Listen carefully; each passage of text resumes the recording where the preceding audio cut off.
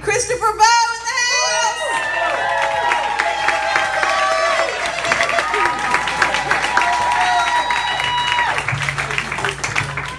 Chris, I would had I been across the world, I would have brought I would have gotten a plane and made sure I was back. I wasn't missing this. I missed your 90 days, but I got to come the night before and listen to your song that you had done, and I just want to say, wow. Wow. Wow. Since the day you walked in, you've not only blown me away, but you've blown every single person that you've stood in front of. Yes. When we look at you, all we see is hearts. Yes. There is a contagious faith and a contagious joy that you radiate like none other. When you walk into a room, consider the room under arrest. Am I lying? Okay, just making sure. There was a time that you were bald and now you got some hair.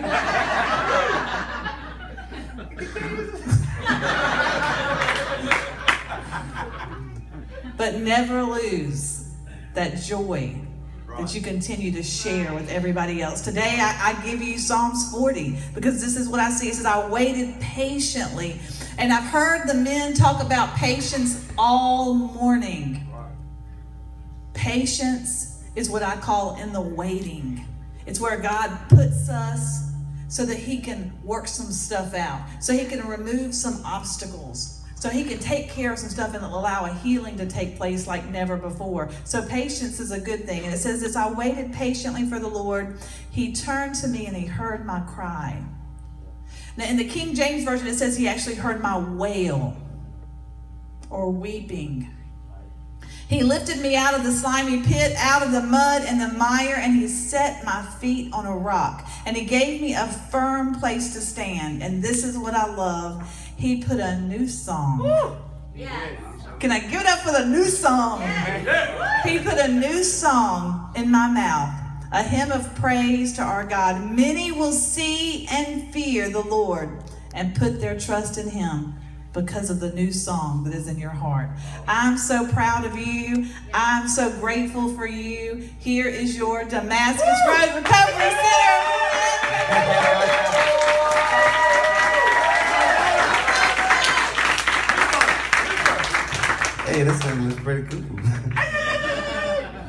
Uh, thank you so much, Miss Susan. Uh, I just want to start off by saying today God is good. How much? How much? Sometimes? All the time. That's right. Yeah. Um, yeah. To me, this really don't mean as much as what I got for my 90 days. Um, I heard I was talking with Brian the other day, and he said, um, he said, yeah, I felt like a 90 day award really isn't isn't all cracked up what it's supposed to be. But um, I just want to let you know, I'd rather get this again than get that again. You know what I'm saying? Because this is um, this is our sword. You know what I'm saying? This is what we fight to get through your next 90 with, and then this ain't gonna keep me sober. This is. You know what I'm saying? right. So, Now we now on my heart, I feel like I got this again. Forget the paper. I got this again. That's all I need. But I want to thank I want to thank God for His love and His faithfulness for never leaving my side and for giving me a new song. And um, I want to thank um, Brother Charlie and Miss Pam because if it wasn't for his trials and tribulations, then we wouldn't have been able to have all, you know, all of this Damascus Road and Jacob's Well Ministry. You know, big thanks to you. I know he's gonna see it later. And Miss Pam for her wonderful desserts that she has. um, I want to thank Miss Susan. Thank you so much for somebody say Miss Susan. we love you, Miss Susan. Um, she taught me so much. She taught me how to. Um, she taught me how to use my heart, how to care for people, and um, reach out. And that it's not all about me. And as much as that don't sound good, yeah, it don't sound that good. But uh, she taught me to care for others and uh, be slow to speak and quick to hear. You know, and Robbie told me that plenty, many, many times. and it's true. It really is. Um, I, it helped whenever I had Jonathan in my room. God told me. Um, I think it was in Job, he said, um, if you would just be altogether quiet, that would be wisdom. I said, really? Ain't no way. but it was, it really was. I want to I want to thank Asa and, and Miss Mandy for everything that they do. I'm so glad that I had him as my counselor. Thank you, Asa, Asa good. He brought like a, a structure and a business wise that I've never had before, a fatherhood that I never had before. Show me how, how I'm gonna be able to act with my daughter, and I thought that was cool. Um, the Tillmans, Mama T and T, they showed me a lot because they they walked it out. I watched them, I lived with them, and, and all the other staff members too. They walked it out, and I see this and they preach, and you know, it, it's crazy because you know it means so much to me because I'm like, man, they really they about the business. They they know what it is, you know. So I watched them, and it helped me grow, and um, I watched them do listening prayers with us, and I said, man, if they they human just like me. I could do that too, you know. So I asked God, and I kept. I went and asked Mama T to do a listening prayer with me, and I just I caught little pieces, you know. They teaspoon you a little bit of the Bible, a little bit of the Bible, and feed you so much until we could do it on our own, you know. And no, nothing mean about it, but I could do it myself. I could do it myself now, you know. I praise God for that. Um, but I just want to thank y'all from the bottom of my heart. I want to thank Miss Tammy. I love you, Miss Tammy. she's she's like my little shooting star, you know what I'm saying? Anytime I was in Picayune, she always, you know, helped me out and talked to me when I was upset. Talked to me whenever I was always singing. Um, and Miss Liz, I love you so much, you and Demond. She was actually the first person I met out here in Mississippi. I was in jail, and I told her, I said, uh, I said, y'all Mississippi folks are crazy. She said, she said, where you from? I said, from New Orleans. She said, y'all the crazy ones. But she, she really, she, I heard her pray for me and, you know, just look over me, and it meant so much. You know what I'm saying? I love you, Lieutenant Graham, Major Flowers. Um, Mr. Flowers, all y'all really helped out, and Miss uh, Miss Sarah for being an instrument of God to lead me here and bring me back to Him, you know, and put me on that rock. Amen. Um, and, and for my brothers, I thank y'all so very much, especially for the water y'all dumped me with, Corey. Way here. thank you, Corey, for that. I look forward to that the whole six months. See what we do here is whenever you graduate, you get baptized again, you get a bucket of water on you. but uh, You tell them you made the bucket yourself.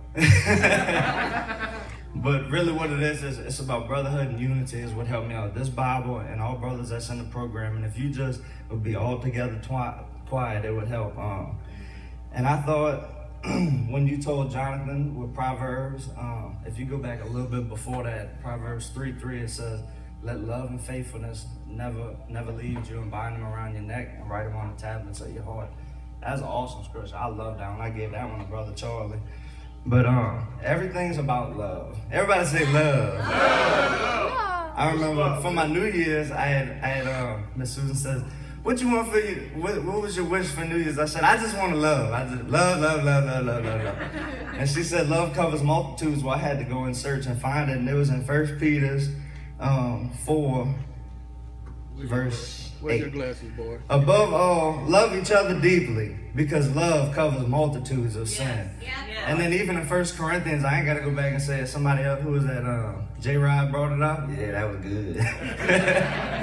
but uh, it says love is the greatest of all. If you could just love, put your love first, and then give that love to Him. Because I wanted love so bad. I lost, I lost the best friend, and it was hard.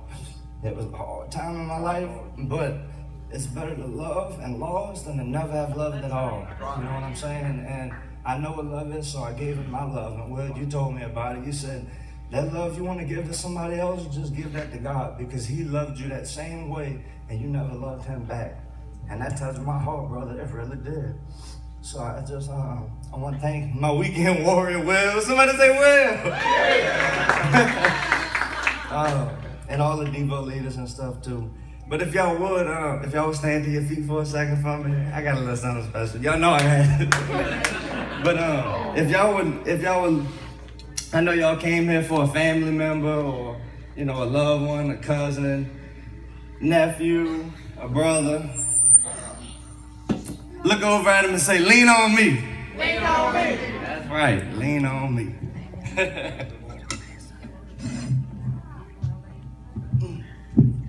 y'all know the words of the song, y'all can sing with me. You know